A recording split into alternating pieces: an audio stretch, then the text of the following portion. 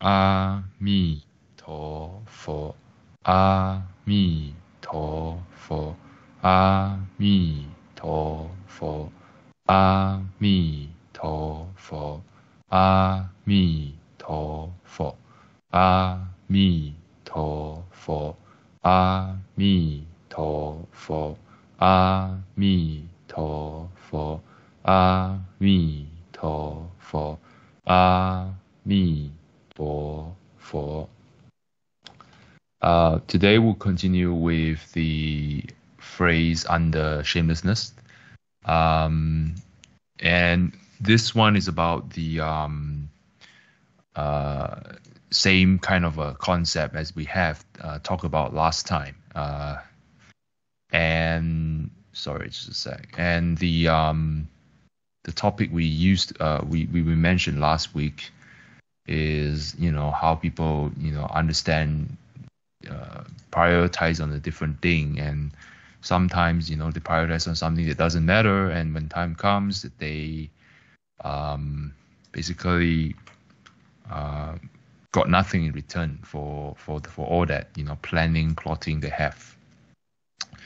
So it's important for us to find out what matters and what to prevent so that we don't waste our energy on something that is not um, important to attain something that is substantial, like enlightenment. So let's not talk too big. Uh, let's talk about day to day. Those are just a state of mind that you know perverted, perverse because they were um, different priorities. Uh, they put importance on something that are not long lasting uh, and and hence they put, uh, resorted to these kind of uh, underhanded tactics uh, to get what they want, you know, for fame, for glory, uh, that is not theirs. So being a fraud and etc. So basically, um, you don't have to uh, pursue this kind of thing. Rather, we need to work on ourselves, work on our internal self to achieve, you know, whatever sort of um, merits and fortunes we want. So today we talk about how to deal with, you know, jealousy basically. You know, why would people belittle others' talent, prevent them from realizing their full potentials? Why would someone cover up their own faults and refuse to admit wrongdoings? You know, it's this phrase literally reeks jealousy. And why would jealousy happen? Because you know we um have someone have someone you don't have, or someone have ability that you don't have. Someone could achieve something you don't have.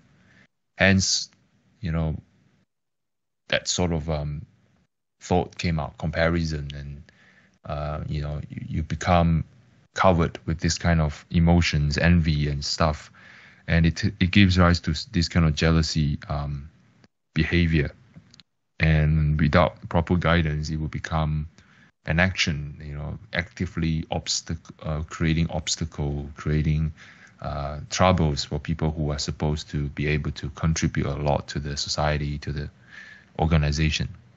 And the core behind this mindset is because you know like i say the the priorities is wrong.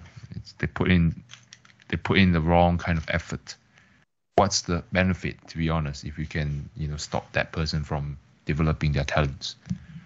What's the real benefit? You get you get to sit in their stead you know get to sit in their place. But even if you sit in their place if you don't have true abilities or talent you will still be encountering a lot of problems and you can't have capability to solve it. So why torture yourself in that way? Why not you why not work with the people like you know people with talent in that field and actually cooperate with them you know and and and you know help each other to grow. That's one way. The other way is even you have the talent you have the ability and they are better than you and you know one might say you can form a rivalry and etc but as long as you keep each other growing rather than trying to stifle people's development you know in the end you still learn a lot more than what you would do when you're trying to stop people. So when we could dig deep down, this kind of you know, irrational and this kind of impulse of jealousies and stuff like that is because um, it's because it's very um, how to say it's it's not aware of how things works. You know, you, you can't work you you can't work by obs- obstructing people from achieving their potentials. And the mind mentality in Buddhism we call it as 我见, which is my uh, ego, basically attached to your own ego, unable to see things as it is, hence cover up in own delusions and own hallucinations. You know those kind of um, deluded thoughts uh, that cause uh, you to act in such a deluded ways, you know, clouded, muddy ways. So the beginning and the cause of all suffering is because of attachment and attachment to this false sense of self, you know, ego. And this false sense of self feeds into whatever your action did. And you thought, you know, if I do this, do this, I will be able to better myself. I will be able to gain advantage. But as you understand, if you really look at the um, longer term and long spectrum of life, beyond one life and the cause and effect into this and end up, you know, all this hard work, all these machinations, manipulations, obstacles that you, you know, artificially make in front of others just because you're jealous or all sorts of pursuits of, you know, um, short-term glory, gratification is meaningless and adding more obstacle for you to attain your own peace in a way. Um, so when we go back to this word ego, we talk about attachment, attachment to this false sense of self. This body is me. This achievement is me. This, this, this is me. That is me. And because what is not according to your thought, it becomes you know prejudice. You know, like oh yeah, my conception of something is supposed to be like that. You know, this is how it's supposed to be. This is how it's not supposed to be, and you become too attached to that kind of mindset. You know, 一定要讲，一定要那样, uh, has to be this, has to be that. End up becoming a attachment and becoming a, a, a obstacle, and that obstacle is, um, you know, it can be it can go into from ego, which is more abstract, into something more practical, uh, into more how to say tangible, something you can see which is prejudice. 成见，某人对有成见很深。 Someone has a very strong prejudice against some other person or other things or other views, um, you know, because they already have their own preconception behind, and they are not open for open to see things as it is. Um, and of course, you can't get out of your own shell. How can you grow? How can you how can you escape the the sufferings? You only recreate the same formula of sufferings to yourself. And then um, what you like, what pleases you, you attach to it. You put great effort, significance, pour all the money, energy, all your life force into it. You know, I like this. Uh, this is me. You know, I'm I'm what I like, and you know, can be you know people that you like or things that you like, career that you like, uh, the identity that you like, whatever you like. Let's give very strong significance to it. So that's also another form of attachment, and that attachment causes what we have now. You know, all this, um, all this uh, formation, all this becoming of the world, basically. If the love is not strong enough, the um, Saha world will not form. In this case, a love is mixed with a lot of um, uh, emotions. They are not pure. They're not selfless. They're not, in a way, true love because true love does not change no matter what happens. And if you're calm down enough and observe what happened, really, you know, among couples, among families, among uh, relationships, it's the best that come out of it is, you know, obligations and able to. Maybe I'm too cynical because I don't understand this, but it changes. If it changes, it's not true. Obviously, you can you can make it better or something. I'm not going too much into it, but if as long as it changes, that means it's not real. It's not permanent. You know, your perception will change, your things will change, and so so your love is not based on solid foundation. It's just emotions and not saying that you deny it, but it is what it is. So how did Buddha, Bodhisattva, or the sages do that? You know, how did they do that that I can't do? The way they do it is they don't use emotions. They use rational. They still have compassion. They still exudes that warmth aura of you know caring and consideration, but they are not using emotions. That means they don't take it personally. They don't make it like me about me. Um, and that's why it's very important to get rid of the sense of self first, because this is not this is not something you can just immediately do it. If you have like, oh, what about me? What about me? Then you still can't achieve that level. What you need to have is you need to let go of. I mean, this is a many lifetime of hard work to, on this. It's not sudden. That's why it's so hard and it's very um, hard to get out six realms because this is the strongest, uh, strongest attachment uh, we all have. Apologies for my hair. I need to cut this. Um, yeah. So, you know, the rest is like my ignorance. You know, yeah, 我痴. What is 我痴? Basically, it means I um, ignore. I'm ignorant, ignorant of things. You know, even though this habit is bad, even though this uh, activity is not good, you still do it. You know, you're not aware of it. You are uh, sinking into this uh, endless hole. You know, you keep going and going and going, not knowing when you will get out. So this is how it works. Ignorance. 我慢 arrogance. How arrogant one person is. You know, why would a person be arrogant? Like jealousy, arrogant means you have something better than others. And you thought, you know, that gives you the credit to be act, acting like that and acting as if you're higher than others. That is also another form of affliction because no one is better than others in the longest longer way. If you say right now, yes, I might be good, and this part you might be better than that part. If you compare using this spectrum, I can't compete with you. Or maybe if I, if I if I talk about one field of you know maybe career or whatever skill set, I might be better. You know, I might be born with these uh, abilities and stuff. But this is because of the past karma and all the actions. None of them is free. None of them is free. Nothing is scot free. All right. So it's just you work hard, you got it. You got what you deserve. And a person who will gain enlightenment, they will eventually reach the state where everyone is equal, not because they think like that, because it is equal. It's the same true nature.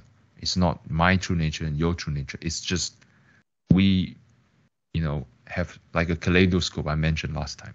It was diverted into many many forms, but the origin is still one. It's still same, you know, whatever object the kaleidoscope reflects, you know, the same object does not change. It's just you split into many many many form of existence, of becoming, to become, you know, to become someone, to become this, to become that, and then from from becoming it, it gives rise to, you know, ones and have, and then of course if you don't have enough merits, you have have nots, and what you want you didn't get, and then you become, you know, craving for something you can't get.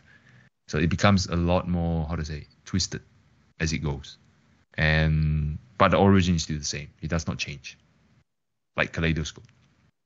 So arrogance is pointless as well in in this form. You know, just debuting the whole point of being arrogant.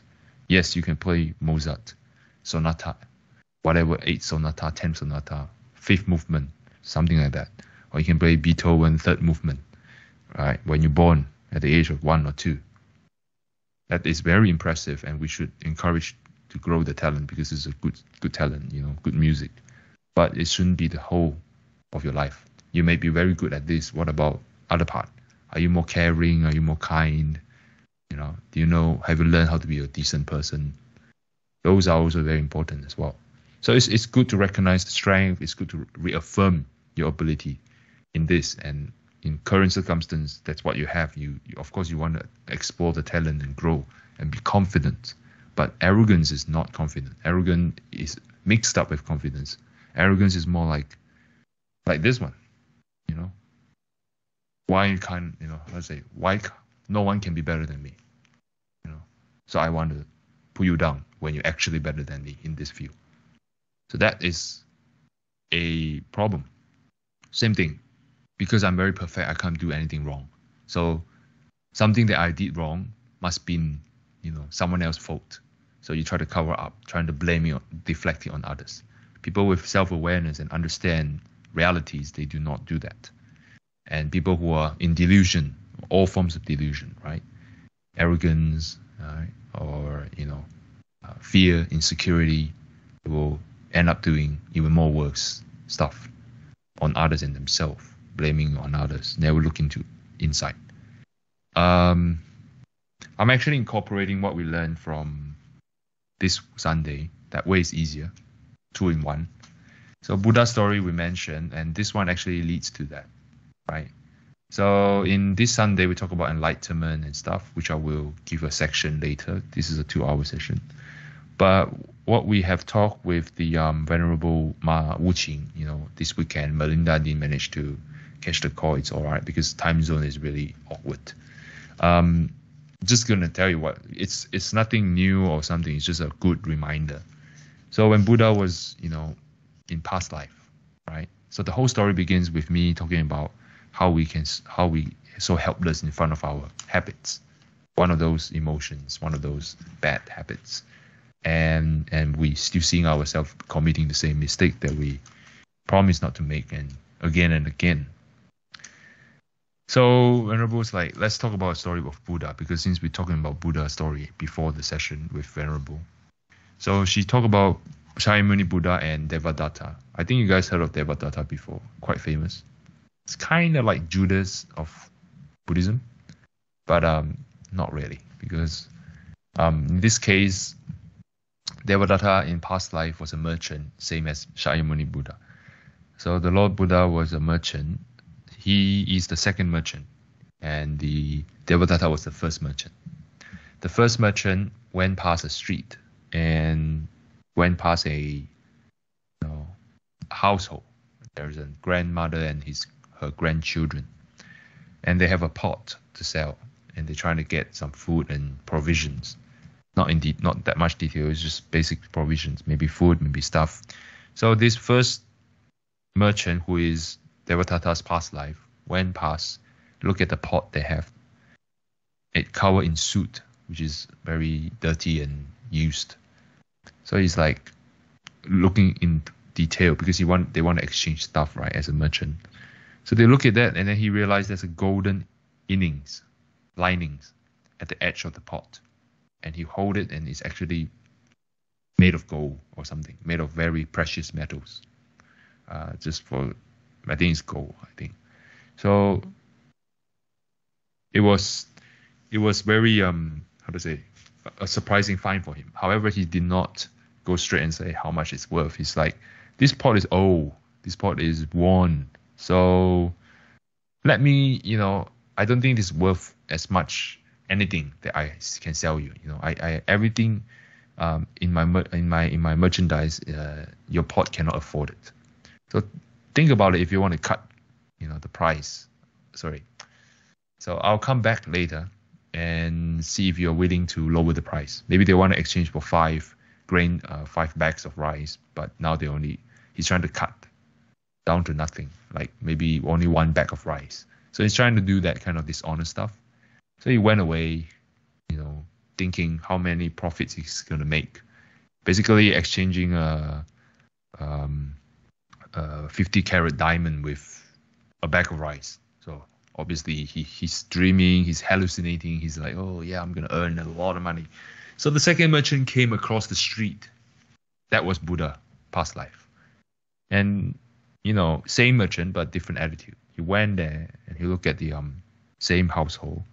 And he looked at the ladies like, uh, do you want to exchange anything? Because it was bartering system, you know, exchange stuff. So the the the the the, the same household give the same kind of uh, goods. Say this is all we have. Uh, how much is it worth? So of course he did a look as a merchant. He want to see how much it's worth, and he's like, my good lady, this is very very expensive. This one is worth more than the entire cart of merchandise I'm dragging over here. So if you could give me a few pennies to get across the river back to my house, back to my uh, warehouse, I'll get I mean I'll get the goods of equal value to exchange with your precious pot. So he you know borrow a few pennies, went back as he did as he said, you know, he's a man of his word. And then he just get all the goods combined with what he what he has at the moment back to the uh, household, the same household, the grandma, and then just like this is all I have, and this is like exact maybe a lot, maybe a whole truck of provisions, two three months or or some precious metals as well. So exchange for the pot, and then he went back. However, as he going to leave, you know, finish the transaction, and he's going to leave, the first merchant came back, and he looked at the he looked at the um the, the same household and say, "Where's the pot? Where's the pot?" And then he's like, "Oh yeah, the second merchant has taken it, uh, has exchanged everything he has with me, so the transaction is done." So the first uh, the, the first merchant was furious. It's like, why is that guy buying my my goods? You know, he's cutting in my profits. I could have got 400 percent um, kind of a uh, profits. You know, those kind of uh, minus money coming in. But um, this guy, you know, really exchanged equal of uh, same goods of equal value with it. I, I, am very angry.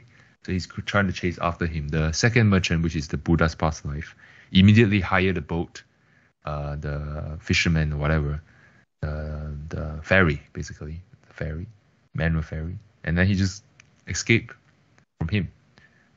And this first merchant, the crooked merchant, who was the Devadatta's past life, stand at the banks, you know, near the banks. He can't swim, right? Even he can swim, he can't raise a boat, right? Looking at the, the second merchant and get very angry, very pissed until he passed away on the spot because he's so angry. So he just fell down and died.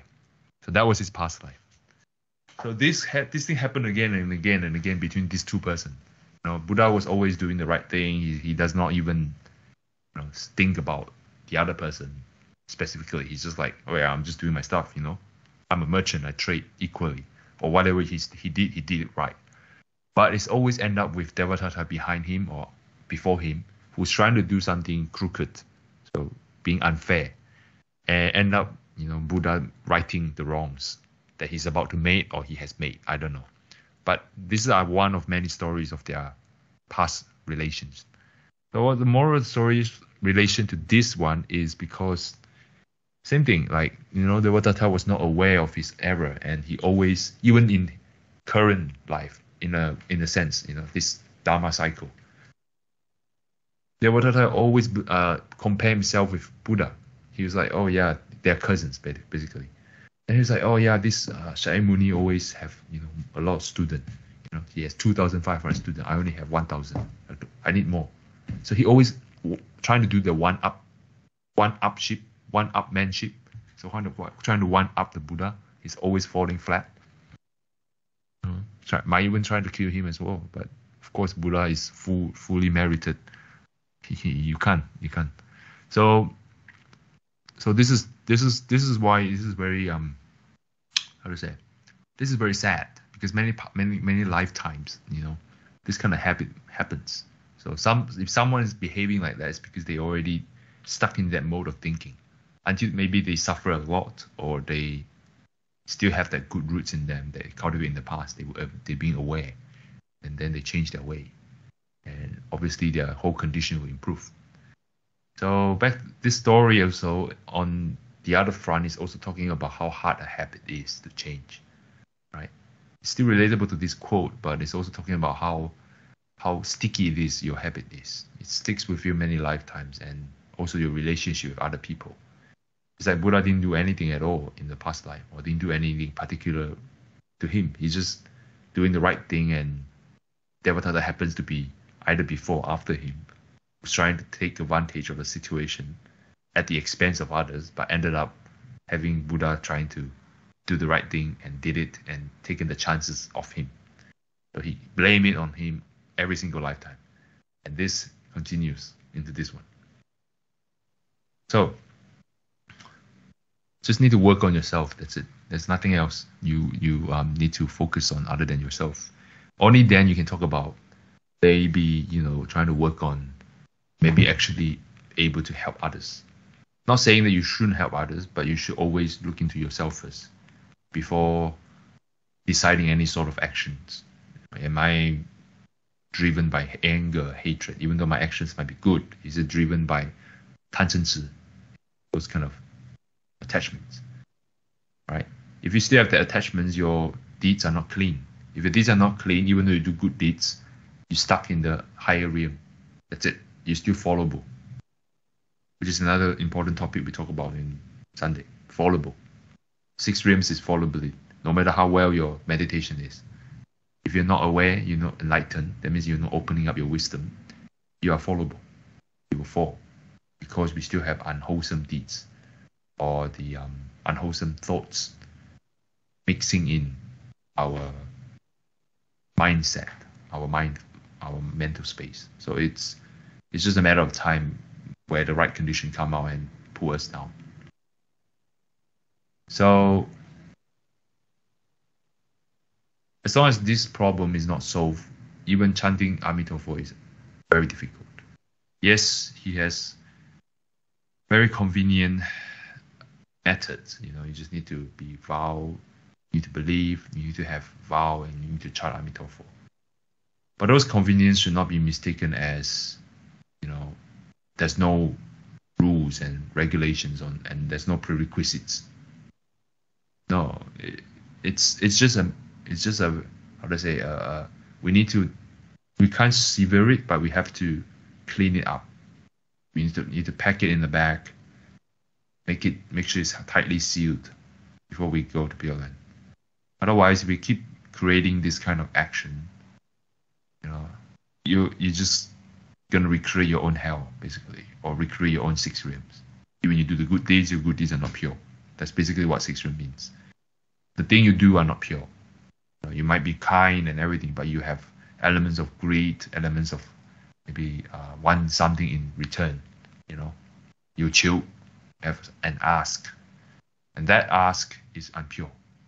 I'm not saying that immediately you will be able to do that, but having something, wanting something in return of what you did is already unpure, and that's precisely why we can't get up six realms. Um, and why can't we not do that because we're so stuck in that thinking, right?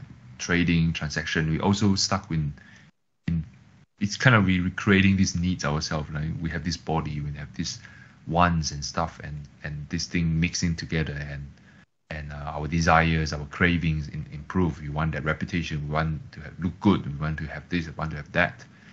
All these kind of um, demands come into pictures, and and ended up you know, making you more calculative. You want this, you want that, so you need to get this from there.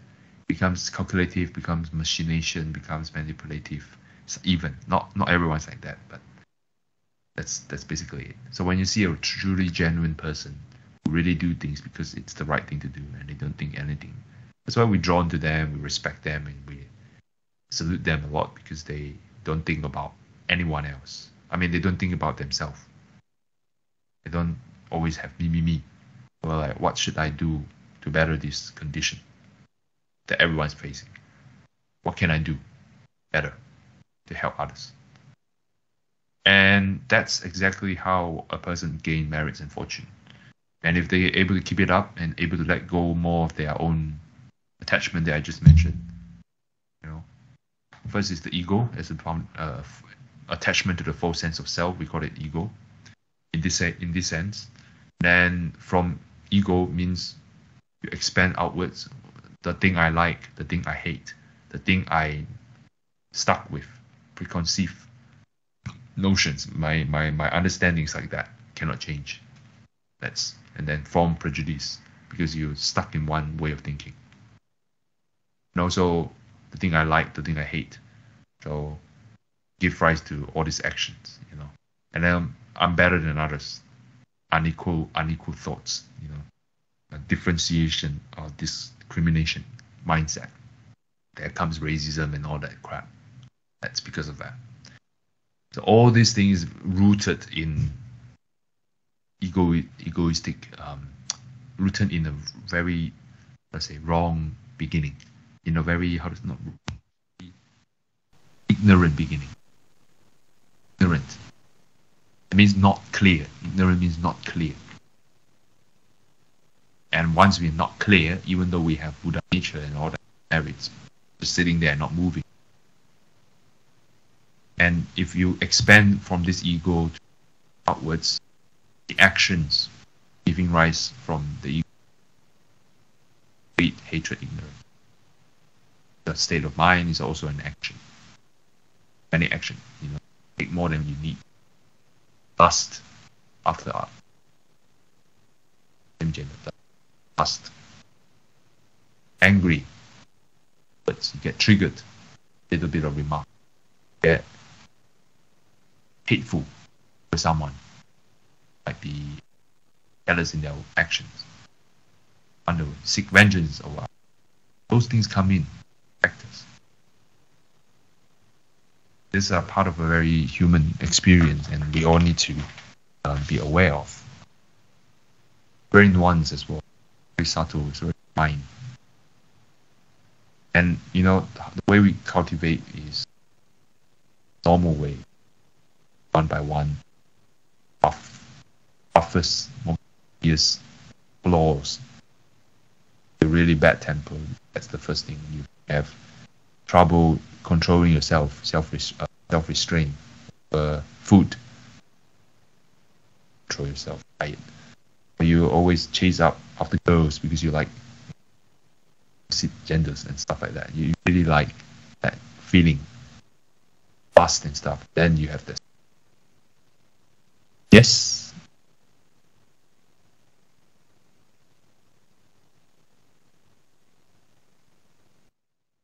Is it better now?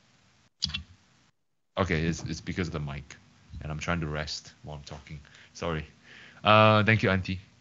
Um, so, uh, yeah, so this is, um, this is something we need to ask ourselves which part we need to start with. And remember, this is a journey that go across lifetimes. It's not even in Pure Land is to have to do the same thing with a better equipment with a good care. You just go into a good place that help you to do that. You still need to work on everything you have. Yes, you don't you will not hear of all these afflictions, but those things with you carry with you underneath, you know, the surface. So you start with the surface, you scrap the surface. That's why it takes many lifetime because you, you need to go to the fine. You don't even know you have it. That kind of problem, you know, the the, the kind of very fine details, something you can think about because it's beyond subconscious, something that you can't control. Like suddenly it pops up. You are fine one day and suddenly you know something happened and then you suddenly got into that mode of thinking because you're stuck. So external and internal work against you a lot of times, and and obviously you know the concept of against you is also very important uh, we need to let go as well. It's not against you. It's rather it's how it is, or it's it's your karma as well that bring you into that condition. So let going, let, let, letting yourself be more fluid and flexible allows you to see things as it is and work your way out of that. You know, you don't get stuck into that one mindset. You know, uh, you commit a mistake and then you blame yourself again and you commit the same mistake, and then this whole cycle continues and you thought you're changing things, but you're changing nothing. You know, the goalpost is very invisible. You can't see yourself very clearly. Like you know, always first person is always blurry than third person. When you someone from the third party sees you from the outside, they can clearly see how you progress. When you're on the in- inside, it's just hard. You, you you need friends. That's why you need teachers. You need you need to read the sutra. You need to listen to the dharma that that's the whole point just to remind you just to remind you of that concept that's very most distant. It's, it's not enough but it's a beginning. Just have a concept a little bit and then once it gets into uh, action plan or something that you, the way you of thinking way of living then that's when the real thing gets in. Like that's when you really actually competing against your behaviors. Like, you want enlightenment, that's the path you need to take. So that's the focus and energy you need to take. Right? Like every day in our life, we we need to focus right on what we need to do. Um, you know, like people who focus on others will do this. You know, trying to put all the energies into plot schemes, trying to stop people from getting achievements because they think somehow they can stay on top forever. That's stupid. People will die, right? When you die, how can you stay on top? What we have is only a give you seven inch long piece of land. And then not even that. Give it 20, 30 years, it becomes soil. It becomes a nutrient. So this is not you. The body is not you. So it's stupid to get stuck in there. Of course, when you get into that environment, you might get sucked in. But if you have that course, then it's a, it's a problem. Like Devadatta, right? Same thing, same scenario, different kind of outlook. You know, people who stick close to their virtues, they understand, you know, doing what is right, and they end up become, uh, becoming Buddha earlier than Devadatta. Devadatta will still be Buddha, or maybe he is. He's just showing us the negative example. You know, someone's to be a villain, right? Antagonist. Um, some is Buddha is if Buddha is protagonist, it's got to be an antagonist. It's how a show can keep going. The show must go on. It is. There is a sutras talk about that, but I don't want to divert away. But what we can see is he is always, you know, using the negative way of doing things, and hence he putting himself down, denying himself the same achievement as Buddha. So that is ironic. So people like this work on the outside. They always think about, you know, how do I look good in front of others? Hence, they're trying to cover up. It's normal. We will have that wanting to look good, reputation, in terms of reputation, in terms of physical appearance, in, in terms of, you know, uh, social standings. Those are there, but you don't have to go all the way there.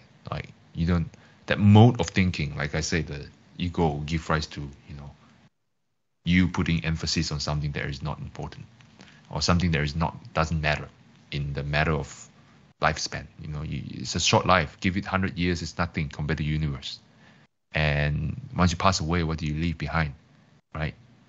And spending energy on this one means you wasting the opportunity you could have in really making progress this lifetime if you're not meeting Pure Land, or you can't accept Amitabha Buddha, there's still work to be done. You want to have a better life. No one wants a better, worse life, right? Even mafias or the cartels, they want a better life, isn't it? So what do they use? They use violence, they use coercion, they use killings. End up all going to hell. They will burn. They will. They will burn really far. So so so so what's the point? You know, some of them got stuck into that lifetime. They got see habits, habits, habits. Those habits are very subtle. You can't control it now. You can't. You just can't. You need to work to make a dent. It's hard. To make a dent in that hard shell is hard. So the energy we need to have is infinite. Hence, you need the help of Buddha. Hence, he has the vow of Buddha. You know.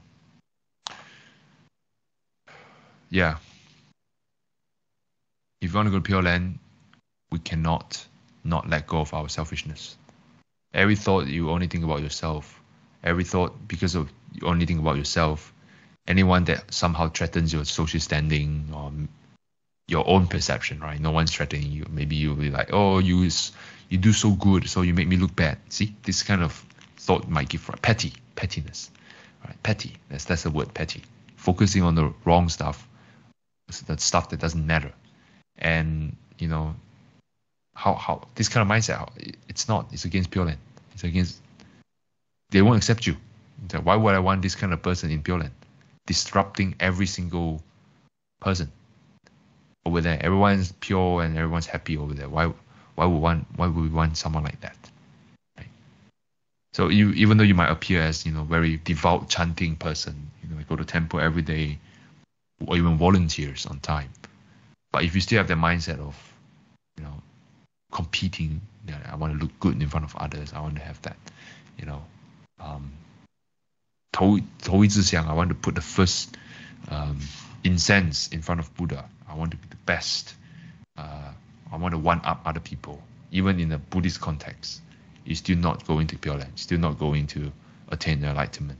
Maybe you get all the merits, but the merits is always polluted. That means your marriage will always come with a lot of hardships you won't get what you what you married, uh, your fortune easily. Even you get your fortune easily, you can't enjoy it properly. You might use it on the wrong way, hence creating more negative karma, hence creating more sufferings, hence you falling into lower realms. You know, from current suffering into lower realms, and then this cycle happens again and again because you're so used to that action. So this is a real suffering, guys. It's not one off standing here doing this. It's the continuous repetition of the same behavior and habits that put you in your own position right now that makes you how to say unable to get out. And you couldn't help yourself as well sometimes. So that's that's where that's where the real reflection needs to come in and ask you know are you done with this? Are you done? And if you're done you need to start listening to buddha. Because if no one else is teaching us how to do that, it's only us. Uh, uh, no one. If we do not have Buddha to show us the way, only by yourself, there are very few people who can do that. They call it Pratyeka Buddha. Yuanjue, they're able to see the flowers, the trees flowing, and then they are able to aware of the 12 dependent originations. You know how people becomes into being, how things come into being, and how things unbecome. So how things exist and stop to exist. Some people can do that, but it's very rare. Normal people, no, most people, they need some help. They need Buddha to show the way. They need sages to show the way. All right. So in our context, you know, Pure Land is all about bodhi heart. No bodhi heart, no Pure Land. All right. No matter how many Amitofo you chant, no bodhi heart, no Pure Land. And bodhi heart is always represented by purity, sincerity, and compassion. So there, there isn't no love, there isn't no care, there isn't no no no compassion. It's just the way you use it, it has to be how to say pure and clean. Without pure and clean, compassion is not complete. Without compassion, your purity and and sincerity is not there. You couldn't use it. You can use it. You can spread it. Without sincerity, there is no purity and there's no compassion. It's mixed with greed, hatred, ignorance, with lust, with anger, with egos, right? And purity is always important, right? And purity, without purity, we can't see ourselves clearly. We always get stuck with the, um, we always get stuck, basically. Um, yes, once you have that bodhi heart, which is the three words sincerity, 真诚,清净,慈悲, sincerity, purity, and compassion. Then our action of chanting Amitabha is triggered. Is merely the condition that leads us to the Pure Land. Because your mentality, your person, character is in accordance to the prerequisites to Pure Land. Right? So if we dig deep into it, you know, those quotes and phrases it's just trying to tell us those subtle mindset you know people with um, maybe not as serious as this but have a mindset of trying to uh, maybe a jealousy and enviousness. Those are showing us that we have so much wandering thoughts and afflictions that we need to focus on you know not stamping it down. It's stupid because you can't. I try it. There's no way.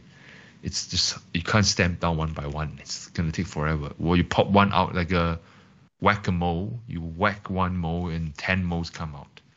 All right, sometimes even more moles coming out.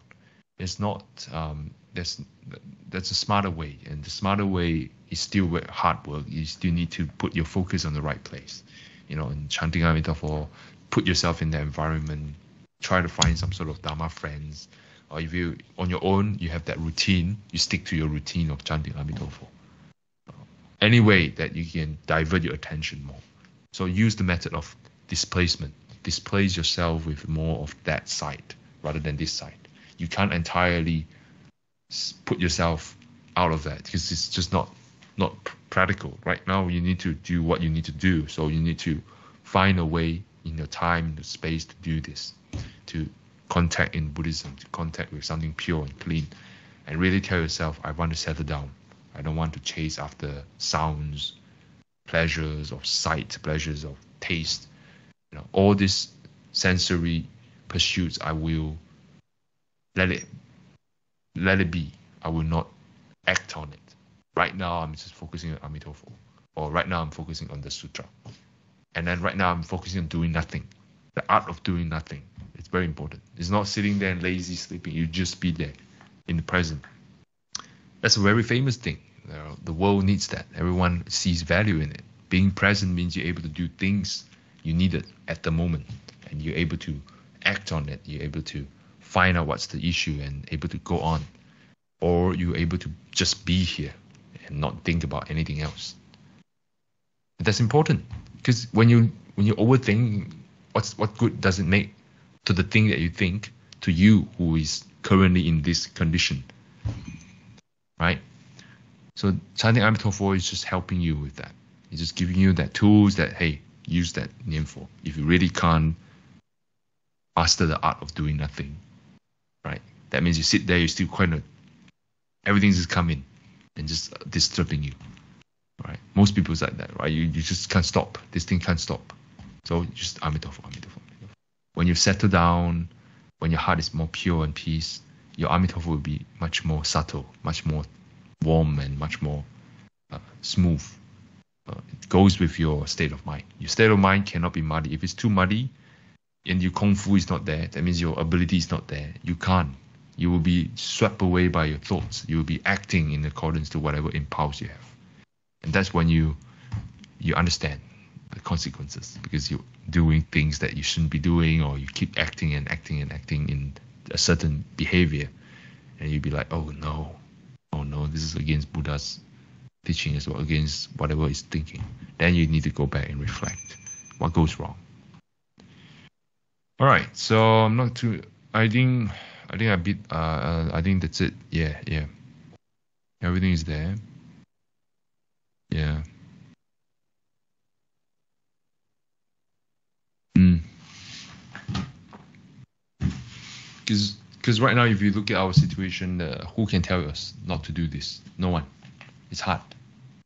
I mean, you you need to be able to accept it, and we don't have the environment where people just well, maybe I speak too early. Some people can take it, right? But in general speaking, the people can't take in anymore. Even like you know, look at the school nowadays, people can't take in anymore. You know the kind of um, the kind of a harsh education they have.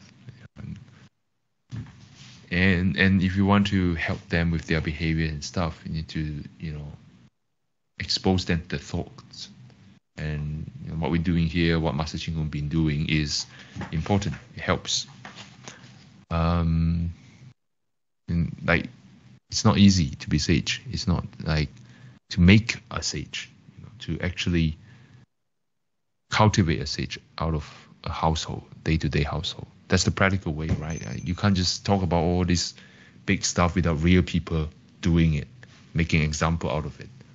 So people who are aware of this, who still have the passion to do this, need to be role model.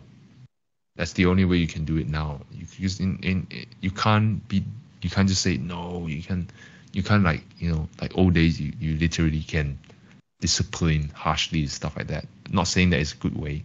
Not saying that we should encourage it, but um, too indulgent of on the other side, you know, too indulgent of the wantons and all that wandering thoughts or, or the desires and needs of the children beyond their needs is also a waste of their talent or waste of their time as well because they could have, have could have a struct could have have a better um, foundation you know spend the time could have been spent on having them learn how to self-restrain how to learn how to regulate themselves sleeping just for example that thing is already gone and regulate themselves how to um, you know sometimes you don't get all you whatever you want you need to learn you know, to be patient.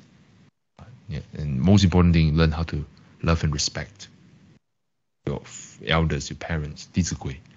That is always emphasized by Master Xing Kong, by Master Yin Guang, our sage teachers.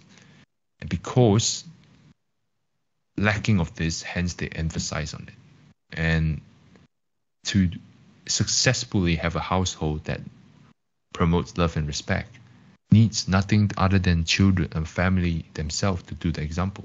Parents need to be, be an example. They need to show how they treat their elders, and the children just learn. That's it. It's nothing, nothing. How to say, rocket science, you know. And same goes for this kind of behaviors. Those things will not happen if they learn to take care of others. You know, they understand that each, like if their parents giving a good, you know, teaching and example, talk and act as well. Act what she say, and telling them, you know, your big brother might have this talent, but you also have your own talent. Don't worry about that. You know, help them, help, help others, help each other, nurture that kind of relationship. Show it to them as well how you treat your own siblings. You know, between uncles and aunties. You know, the, the kind of peaceful coexistence. A little bit of argument is fine, but most of the time everyone's caring about each other. Those kind of environment is where you can create a very good children, a really loving and secured, mentally secured children, right?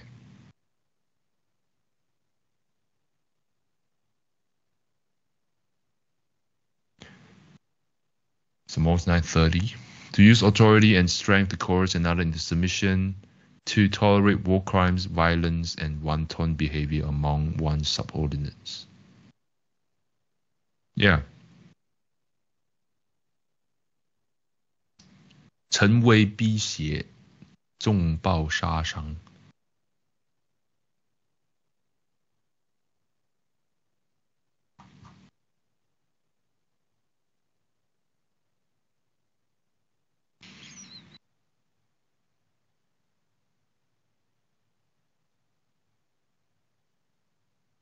？Why is this part of this section? Because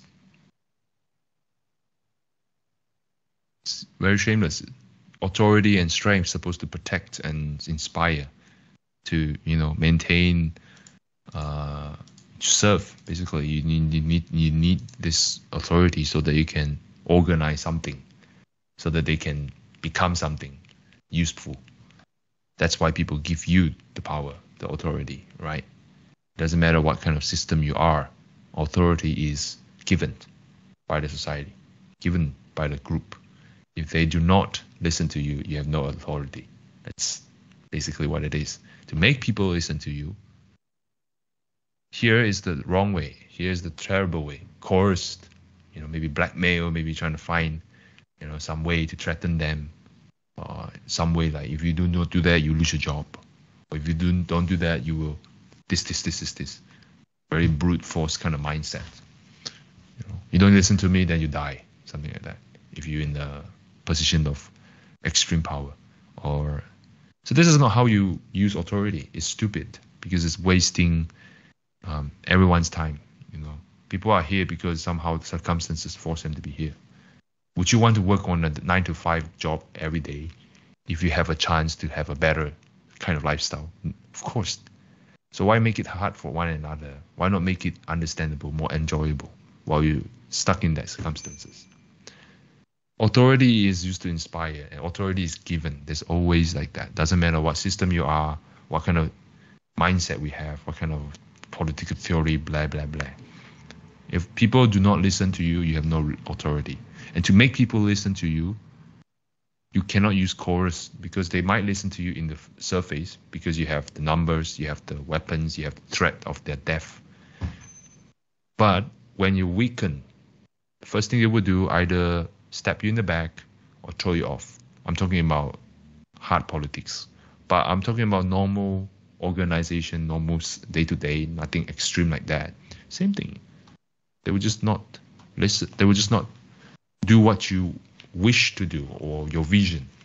And in order to fully understand the wisdom of using authority and you know and strength, one needs to understand why you have authority, why you have strength, right? And and what is the value of it? How to be a person in charge? How to be, uh, how to be, how to, in Chinese, 帝王之学, right? Or in, in, in English, how to be a king, or how the, the art of kingship. This is our old ancient stuff. In the modern terms, it means how to be a good leader, how to, and then in the more simply way, simpler way, without obscuring the meaning, how to be a role model. Even simpler than that, right? How to be true to yourself that also translate into others. That inspire others. What what do you mean by true to yourself? How do you be a person who understands your own weakness and strength and able to serve this organization that appoints you this authority and position? Or that you somehow inherited into maybe family business or something. Or maybe, you know, people voted you to be the leader because you have that ability and talent. So there are there are there are many factors, you know, and shamelessness means that you're not aware of any of this and just use force. And of course, you know, just because you have power now doesn't mean you always have power, right? People who have wisdom, they know when to use authority and strength to make merits. That's how it should be. It's like you have a lot of money, you spend it on useless stuff rather than spend maybe you can enjoy yourself a little bit you know a little bit of hey make coffee for me for fun. But that shouldn't be the point. The point should always be using it to cultivate merits. Or in the money term you're using it to make investment to make more money right? So using authority and strength means you have a lot of convenience at your disposal. That means things get done for you on your behalf and people do that because you can organize things you can delegate the right person that's one of the 101s. And you need to have understanding of people, understanding of the actual stuff you're doing, understanding of the whole picture and, you know, where are we going? Where are we moving? And, and, um, you know, strength and weakness. Is this person okay with this? Is this person okay with this? You need to liaise between different people. In Chinese, there's three ways, and this is the art of you know management and some family household have 800 people, 300 people. How do they manage coexist properly, right? They don't just bow kowtow and submit. Everyone has their own characteristic. Just because we're in Asian culture doesn't mean we always submissive or anything. It's just we didn't show it. So the point right now is how do you actually make people fu, really willing to listen and act? First thing you need to act what you want other people to act, right? old days, the leader who lead the army into a battle, they always in the front. They lead the charge in the front, and they rush head long into the battle. Only then people are willing to throw their life because you're willing to throw your life. I'm talking about military terms. Same goes for monk. You know, in the sangha, if the monk is always on time in the meeting and they always do their own homework, Buddha homework, you know, Wu Men Gongke, you know, those chanting and everything. And they always, how to say, po- uh, properly conduct themselves. And they're always compassionate. They they learn, you know, they they lead by examples. So of course the fellow monk will always, you know, willing to listen and and get more immersed into the Dharma because you are representing the Dharma properly, you know, following the teachings. Same goes for you know any organ- organization you know you talk about this you have to do yourself so you need to do what you preach first before you talk about hey, you do this, you do that. You don't need to sometimes. You just in, express the intention. People might even understand. All right. So that's how authority and strength is used. So I'm just gonna look further. So yeah, like Mr. Liao Fan in charge of high power. Uh, there's a lot of power. He become a basically a mayor of New York, someone in charge of a very rich and powerful area you know, with a lot of dignitaries and stuff. He used his power to build bridges, to do infrastructures that actually is useful for the people. Um, he cut the tax. Back then, tax is not. I think US is foul. I think foul 44 or something, 44k or something. In uh, us, Australians ATO, Australian Tax Office. It's not like that. It's not easy. They they they literally need to cut into their day-to-day food You know, you're a farmer, right? Most people are farmer. So you plant, you get what 10 hectares, and then there's 10 hectares, you get uh, maybe five bushels or five gallons of grain, and you need to take one tenth or one sixth. So maybe cut it down to one fifth, so that the people can have more food to eat. No, not one fifth, one one eleventh of the um, tax bushels of rice they need to give to the government. Something like that. So he, he used his power to do something useful, not stupid stuff. You know, not trying to uh, trying to gung ho his his ability. You know, I'm you know like uh, I'm I'm managing the city directly under emperor's supervision. So look at me, man. I'm powerful. Right? I'm the governor general of Australia. So I'm all this. Well, in modern terms, they don't really have real power, but yeah, you get you get the gist of it. Um, yeah. What else? What else did they say? um, yeah, Master Ching Kong went into the Liao Fan's route about how he changed his life, and I mean it's important because it talks about how, you know, like I say, authorities, people listen to you. Only then your authority is an authority, and strength means you know you you might be in manpower and able to gather a lot of people, rally people to a cause something. Um, I'm using a medieval way of, in know, modern terms, means that people willing to do what you say, and uh, the only long-term way of doing it without using force is to be a role model. Right? I'm summarizing it, and also you need to have a clarity of mind. You need to have wisdom as well. You need to see things before it happens, or see a pattern of things when it happens. Otherwise, why they would that's why you're in charge. That's why you need to understand. You need to prepare. You need to access what's the problem. Those are practical stuff that we need to have, learn. And people with cloudy mind, they can't have that. People with, you know, only thinking about themselves, they could not perceive that. Because you're in high place, you need to see a lot more than normal people does. All I care about in my job is just A to B, trying to get this thing to done service one person. He has to service thousands, millions of people. And he has to see things the organization level. That means he can't just sit there and all about himself. Just stuck in about no time. Literally no time. All right. When you look at, you know, Master Ching Kong, Master Wu Xing, and also other, you know, great venerables and also other great leaders, they are leaders, right? they don't have time. Like me sitting here and thinking, wondering thoughts. It's nothing. For them, they were like 10,000 problems come in from 10,000 different organizations, sometimes outside, sometimes inside. They have to worry about, you know, literally making things floating, you know, making things work. Um, so this is also one way of cultivation, very good cultivation. The focus the focus. You need to have sharp focus. And you know, that's how authority is. You just amazed. You just be inspired. You'd be like, this person is really trying to do good by the organization. You know, trying to repay the kindness of his teacher. In case of Master Wu Xing, he's Master Ching Kong. In case of Master Ching Kong, the three teachers. And in the in the general scheme of things, Buddha, trying to repay his kindness and so he has he, he has to he has to rather than coerce others, he has to coerce himself in, in a way right the other way around you need to coerce your desire into submission of your rational view of, of, of your goals of your noble uh, character. That's how you use force. Only person that you should use force is yourself against your own affliction. All right? No one else.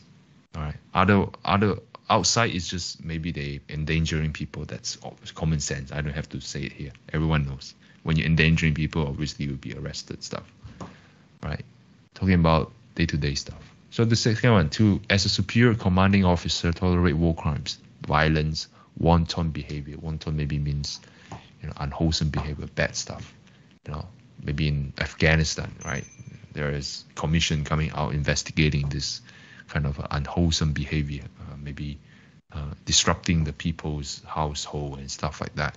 Of course, they have their own set of circumstances. In Australia, we have our own Special Air Service Commission file against these people because they are behaving un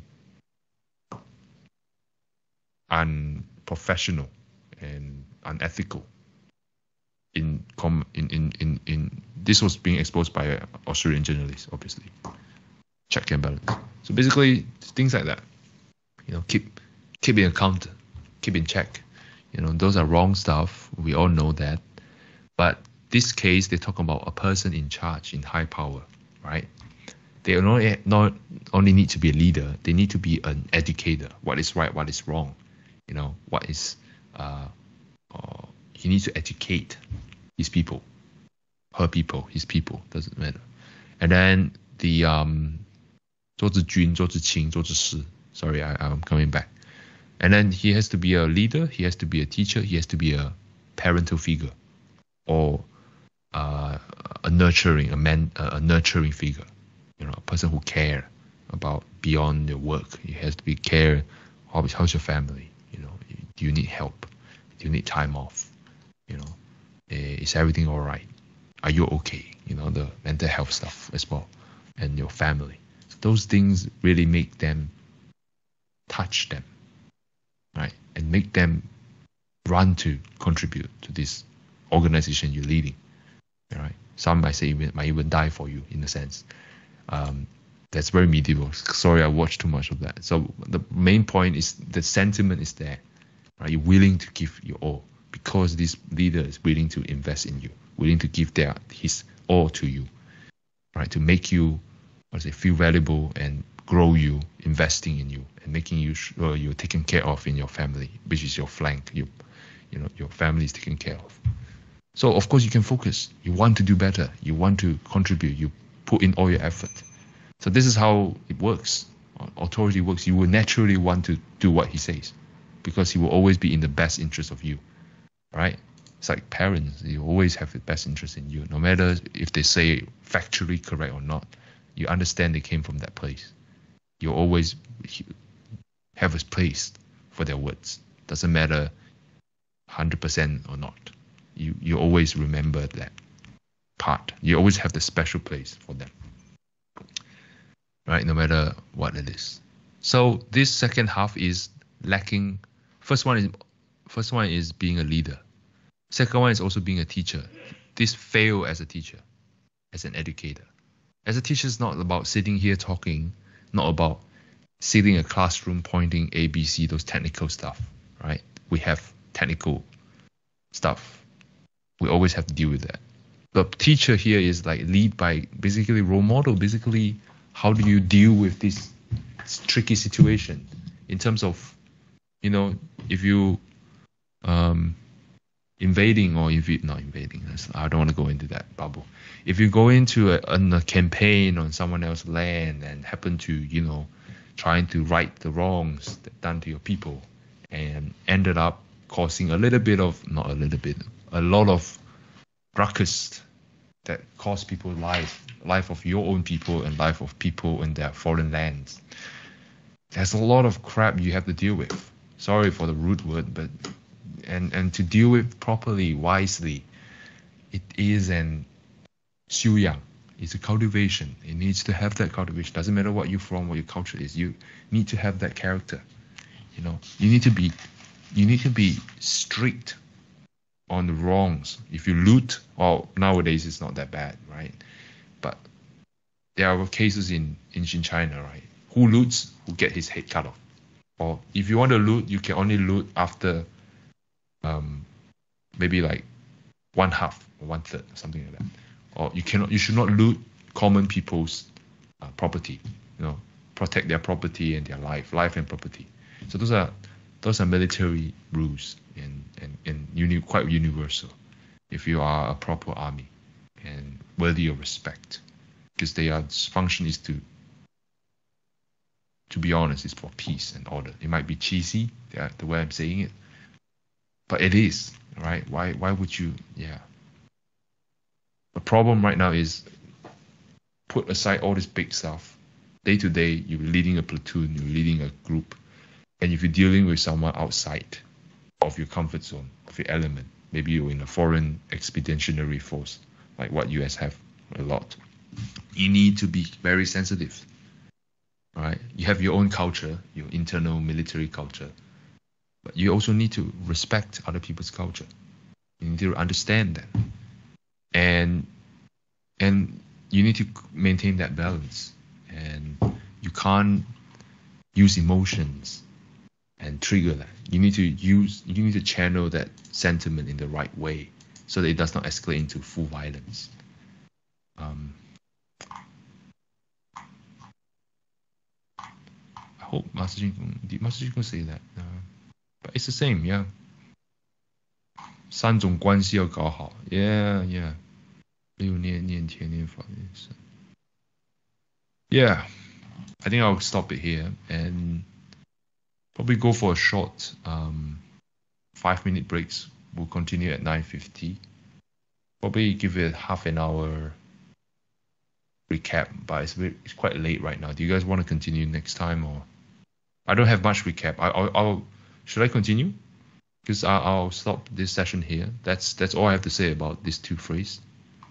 You know, summary. I'll summarize it. Five minutes. So summary of these two is um, it's part of a shamelessness transgression, and to, and and you know, if we understand what we do, we have good consequences. We understand that there's no need for us to go this kind of um, behavior, uh, um, like looking into other faults, of other people's stuff, and because that is waste of time.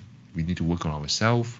Only then we can exude that level of, you know, um, respect that we yearn for, not by obstructing people, right? And work on yourself means you have to be understanding your weakness, look at it in the face, and understand, you know, covering it up will only fester. Um, more wrongdoings means more cancer inside of you. You need to get that out chest, and you need to work a long-term plan, long-term mindset against your habits. Those things cannot go away in an instant. So you need to be always be honest, always be open, always be willing to lower yourself a little bit.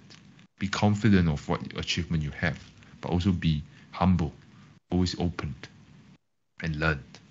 There's always a way to improve. You're not Buddha yet in terms of attainment, full attainment.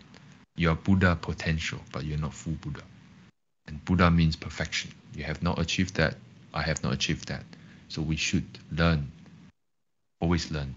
Always open up. Never belittle people. Never be uh, covering up your wrong.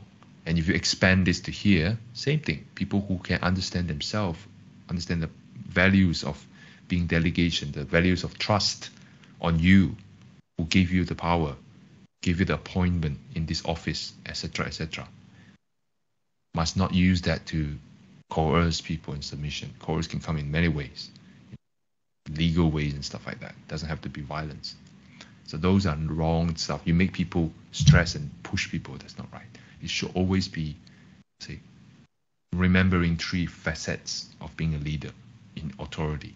That's how you truly have authority. Number one, being a role model, which is leader. Number, I mean, number one is being a leader, to lead in front all right. Number two is to be a teacher, to a mentor. You need to show them what is right, what is wrong, standard guidelines, and then you need to role model, role model yourself. You need to actually act in accordance to what you said. Number three is to be a parent, a parent figure, to care, nurture, take care of what they worry about, understand what they worry about. You need to listen to them, the concerns they have, the agitation they have. Those are always always needed in a good leader. Without these three, there's no leader. It's just uh, people who happen to sit on top and then trying to waste time and energy. Maybe there are flaws, but understanding these three principles makes your job better if you're in that position. I think that's a better way to put it. Second half is um, education. Second half, you need to be educating people superior need to educate subordinates, especially in terms of not just talk. That's not educate. It's just can, making aware. Real education is acting. Maybe a leader of this small group shows you how it's done, you know, in real day-to-day situation. That's also another form. Otherwise, this will happen. War crimes, violence, random behaviors. This can translate into civilian setting as well. Those unwholesome behavior, you know, unprofessional behavior, workplace bullying, harassment, right? Sexual harassment, bullying, right? Like indirect, indirect, uh, be, uh, uh, how's it? Indirect, uh, negative behavior that, that disrupt others. So as a team leader, you need to show that this is not all right. This line you do not cross. I'm gonna give you an cheer, an earful if you do that. Right? You can have jokes, you can have teasing and stuff like that. But if it cross that line, we understand it become malicious. Right? Don't need to wait the big boss. I'll I'll, I'll come and I'll come and have a talk with you, and then we, we will see what, where you want to go. So you set that line and boundary very clearly. Anyone who crossed that line, I already told you three times. Right? Do not do it. If you do it, we already make it very clear in accordance to policy, in accordance to our ethical standards. You have breached it, leave the place. So this is how you build up, and you also abide by that. You are very relaxed and happy, but you understand the bottom line. So hard and soft has to be just nice, right? Punishment make it very clear because you did not do what you were warned not to, because this is ethically, morally important for the organization to behave like that, for a person to behave like that, right? So that's it. Uh, sense of shame, basically, right? With sense of shame, all this becomes easy to understand, right? And you will work hard to work on yourself. Uh, so before I move on to the summary, um, do you guys have anything else to share? We can. I'll have a short summary, 15 minutes. To be honest, I compress everything in a short summary, right? So for your benefit, that's it. And I hope I remember.